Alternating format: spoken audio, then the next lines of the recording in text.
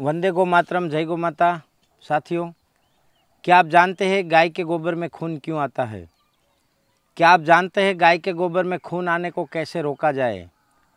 क्या आप जानते हैं ऐसी ट्रीटमेंट जो आप घर पे ही कर सकते हैं?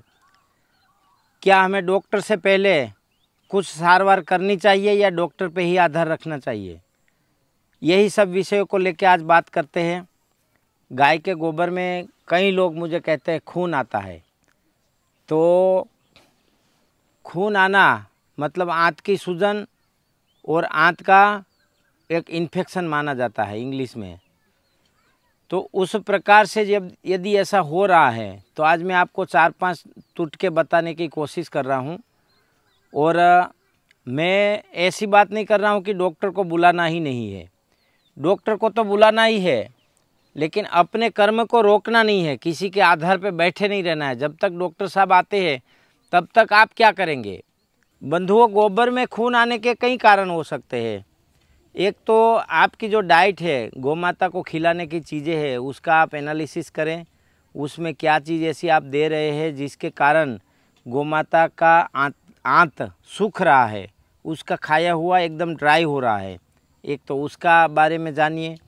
यदि आप गुआर का भूस, गेहूँ का भूस, ऐसी चीज़ें देते हैं तो भी गोबर में खून आ सकता है। यदि आप ऐसी कोई चीज़ दे रहे हैं, जैसे कोई जहरीले पौधे, जैसे आपने कुछ काट के दिया है, उसमें कुछ जहरीले पौधे आ गए हैं तो उसके कारण भी आ सकता है। गौ माता की आंत सूजन हो जाती है तो ऐसे कारण भी खून आ सकता है। तो कई कारण है मित्रों गौ माता के गोबर में खून आने का। तो सबसे पहले बेल फल जो भगवान शिव को चढ़ने वाली बिल्ली है, उसका बेल फल का मावा और गुड़, उसका जूस बना के आप तुरंत गौ माता को पिला दीजिए। उससे काफ़ी लाभ होगा। कोई केस में उससे लाभ नहीं होता है। तो आधा किलो दही, उसमें सौ ग्राम ईसबगुल जीरा ईसबगुल जो सफ़ेद जीरा आता है, वो मिला के पिला दीजिए। उससे उसमें काफ़ी लाभ होगा। उसमें लाभ, उससे नहीं होता है। तो सबसे पहले उसको आधे किलो मक्खन में पचास ग्राम हल्दी गुनगुना करके, आधा किलो ले, बड़ी गाय तो छोटी गाय है तो 300 ग्राम भी ले सकते हैं। उसको हल्का सा गुनगुना करके उसको पिला दीजिए, उससे भी काफ़ी लाभ मिलेगा। यदि उससे आगे देखना है, यदि गाय को लगता है कि सारी चीज़ें डिस्टर्ब है अपसेट है, खाना, पीना, पेट, गोबर, सब चीज़ें, दूध देना तो उसको रोज़ एक लीटर देसी गाय के दूध में एक litre drinking soda, plain soda पिलाइए रात को, ताकि उसके बॉडी का पीएच है ना, वो जड़ से, सात से नौ के बीच में आ जाए तो अंदर से ही वो ठीक हो जाए, बॉडी पूरा अल्कलाइन हो जाए।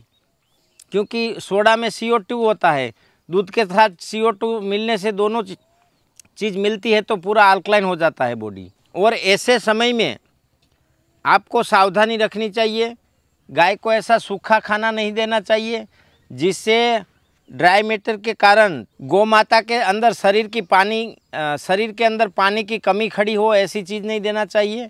ऐसे समय पे रोज़ सुबह दो लीटर देसी गाय की छाछ संस्कृत में तक्र बोलते हैं। छाछ के अंदर 50 ग्राम सोडा बाई कार्बोनेट डाल के पिलाएँगे।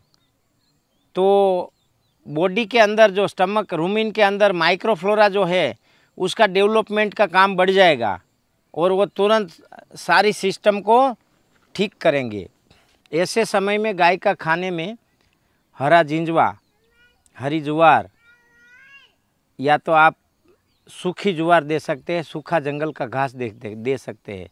परंतु शरीर के अंदर से पानी सूचने वाली चीज़ है ना वो नहीं देना। जैसे कि गेहूँ की भूस अरहर का और चावल का जौ का सरसों का तिल का बाजरे का ये सब है ना डिहाइड्रेशन खड़ा करता है। शरीर के अंदर पानी की कमी खड़ी करते हैं और उनके कारण जो है गौ माता के जो आंत, आँत है, उसके अंदर सोख जाता है गोबर।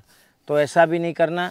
और यदि इसमें आप जैसे केंठे को जा, केंठे, केंठा जो है, केंठे के झाड़ को आप पहचानते हैं तो केंठा जो है, वो केंठा एक एक केंठा दिन में तीन बार पिलाने से गाय के गोबर में खून आने में काफ़ी आराम मिलता है। ऐसे इस प्रकार से आप डॉक्टर को बुलाइए, डॉक्टर साहब के आने तक आप ये कर सकते हैं। या तो आप पहले एक दिन इसका प्रयोग करिए, दो दिन उसके बाद डॉक्टर साहब को बुलाइए। परंतु इंतज़ार नहीं करना है, मैं आप आप नए नए गोपालक है तो आपको हो सकता है दुविधा हो। उससे बेहतर है कि आप तुरंत डॉक्टर को भी बुला लीजिए और साथ में ये भी कर दीजिए। दोस्तों, यदि ये वीडियो आपको सही लगता है तो इस वीडियो को ज़्यादा से ज़्यादा शेयर करें। आपके एक शेर से यदि कोई गौमाता ठीक होती है तो वो भी हमारे काम के बरोबर का भागीदार और हमारे पुण्य का हकदार बनता है। इस प्रकार से आप हमारे इस मुहिम को, गोपालन को मज़बूत करने की मुहिम को सहयोग दे सकते हैं। वो भी आपकी एक बहुत बड़ी गौ सेवा है। जय गो माता वंदे गो मातरम